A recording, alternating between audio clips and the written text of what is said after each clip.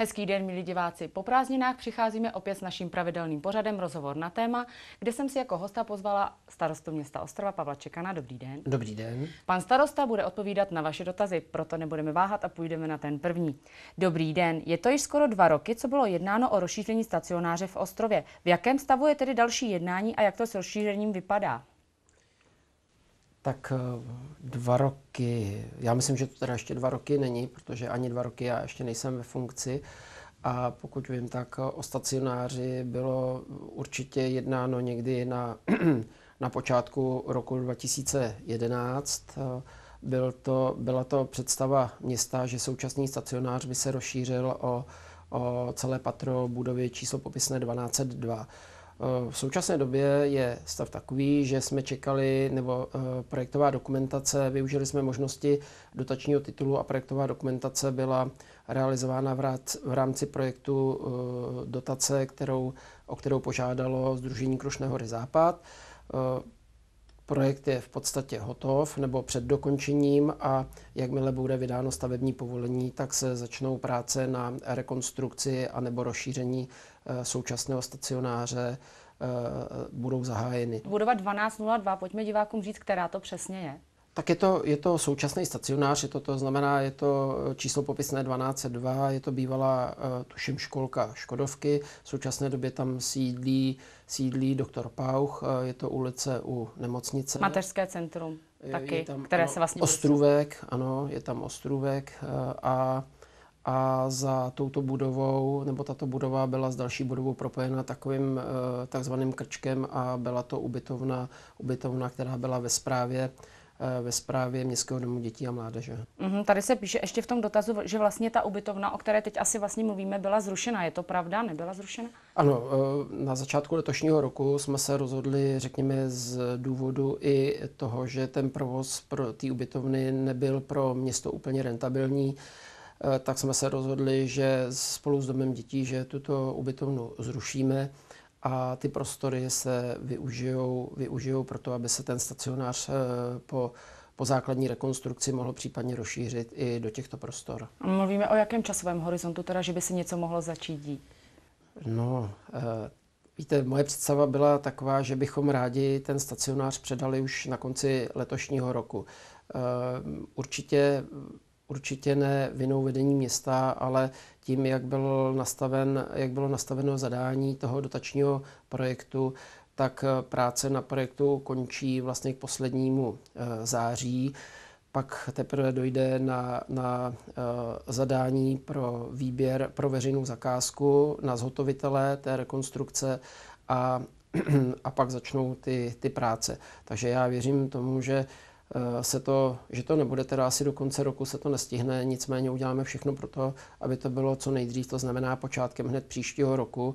Eh, teď jenom samozřejmě řešíme spíš ehm, z důvodu, z důvodu nějakého technického, protože tam máme eh, v současné době, nebo Charita tam má nějaké klienty, tak za jakých okolností ta rekonstrukce bude, jestli bude jakoby za provozu toho stacionáře, který provozuje Charita, anebo jestli možná změníme trošku, trošku ten postup a, a mm, třeba začneme tím tou bývalou ubytovnou, protože tam se už zpracovává taky projektová dokumentace, ale to je otázka v podstatě i peněz do rozpočtu na příští rok, protože ty samozřejmě eh, v letošním roce zatím vyčleněný nemáme. Kolik to město bude asi stát?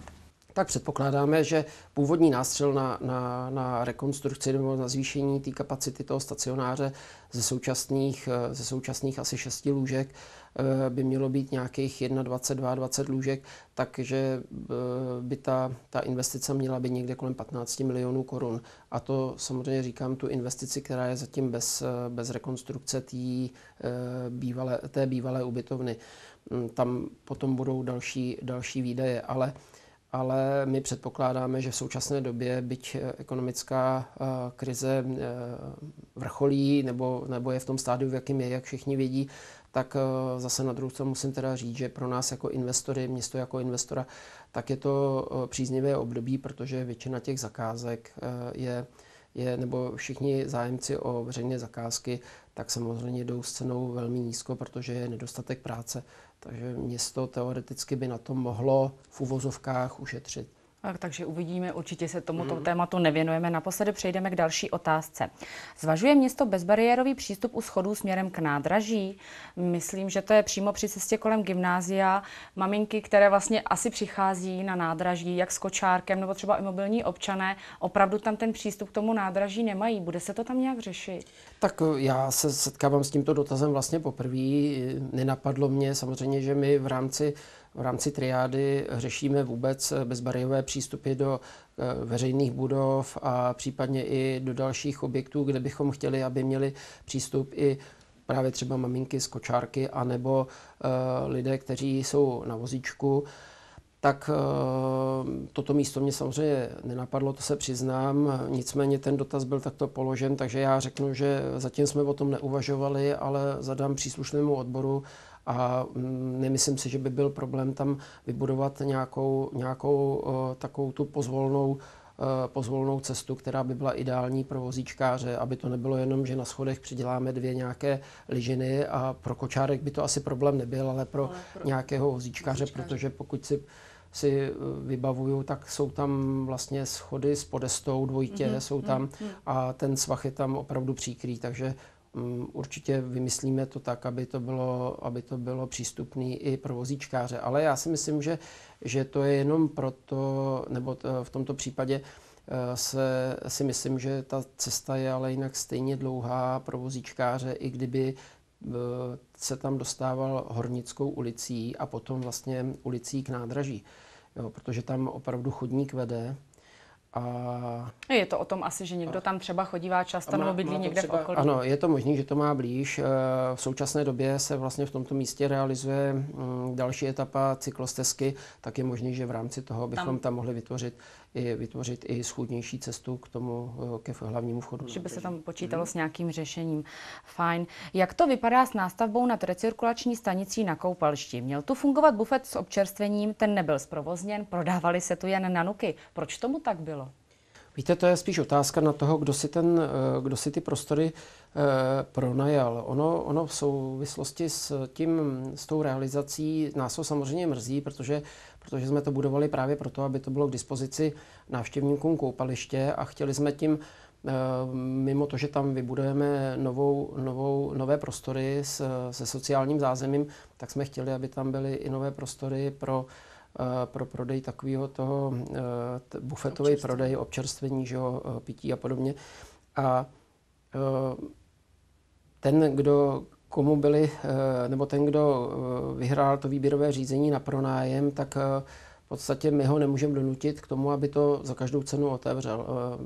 Šlo o to, že, že to někdo vysoutěžil, my jsme to teda někomu pronajali a jakým způsobem to dál využíval nebo nevyužíval, Eh, určitě my nemůžeme už úplně ovlivnit. Eh, asi bych měl tady říct to, že eh, tím, že se ta stavba stavba z, řekněme, z objektivních důvodů prodloužila a že vlastně se to koloudovalo až už v době, kdy, kdy koupaliště bylo otevřené, tak, tak, tak v podstatě pro toho, kdo, kdo si ty prostory pronajímá, tak už zbýval jenom ten poslední měsíc, to znamená ten srpnový měsíc pro, pro to využití protože potom koupaliště, my máme koupaliště otevřeno do konce srpna, pak uh, někdy bývá ještě o nějaký ten den může být, když jsou, když jsou letní, když jsou takový ty letní zářijový dny ještě, tak, uh, tak určitě může být ta provozní doba prodloužená, ale ale v letošním roce tam bylo rozhodnuto, protože se tam musí udělat uh, generální oprava filtrů, tak se koupaliště zavíralo vlastně s posledním prázdninovým dnem.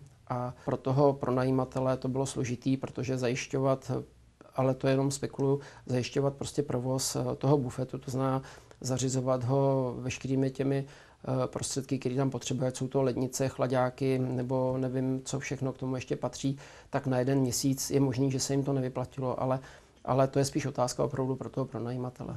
Každopádně doneslo se k vám, jestli byli lidé vůbec spokojeni třeba s údržbou šaten, sprch záchodů, co tam byly vlastně vybudovány? Tak já nemám ještě vůbec eh, zatím žádná čísla o tom, jak bylo v letošním roce koupaliště navštěvováno.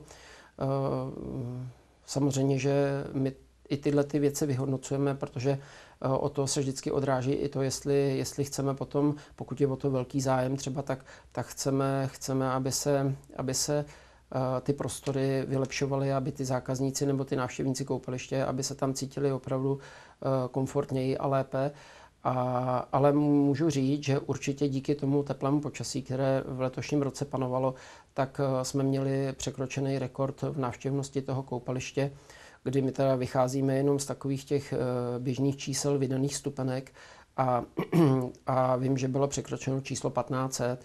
Eh, odvíjí se to od toho, že samozřejmě ten, ten provozovatel koupaliště neregistruje odchozí, odchozí návštěvníky, jo, takže jenom ty příchozí. Takže v tom jednom dni, nepamatuju si, který den to bylo, ale uh, asi všichni, všichni obyvatele města Ostrova vnímají to, že v letošním roce mm, bylo léto opravdu, opravdu teplé. Extrémně teplý srpen. Extré, extrémně teplý i srpen, ano. Takže eh, i to koupaliště podle toho si myslím, že ta návštěvnost byla opravdu, opravdu četná.